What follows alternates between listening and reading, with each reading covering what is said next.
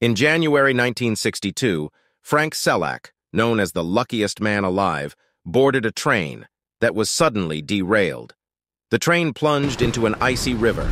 He survived the fall and swam ashore with a broken arm and hypothermia. A year later, he was on a plane when the back door blasted open, sucking everyone into the sky. Amazingly, Frank landed on a haystack with only minor scratches.